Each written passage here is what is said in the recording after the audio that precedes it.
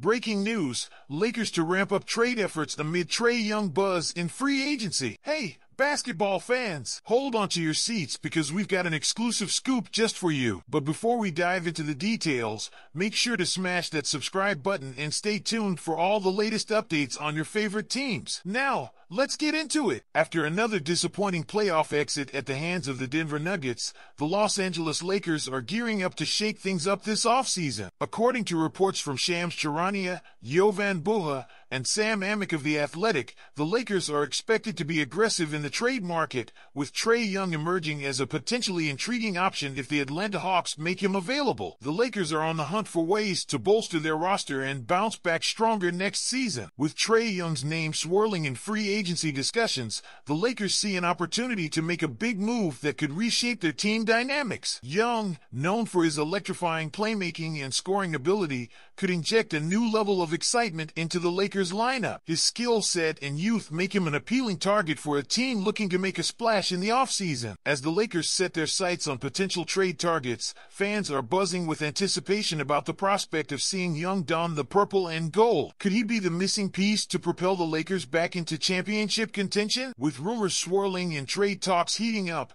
one thing's for sure, the Lakers are on a mission to make waves in the offseason. So, stay tuned as we bring you all the latest updates on this developing story. Now, Lakers Nation, what are your thoughts on the Lakers' pursuit of Trae Young? Do you think he would be a good fit for the team? Let us know in the comments below.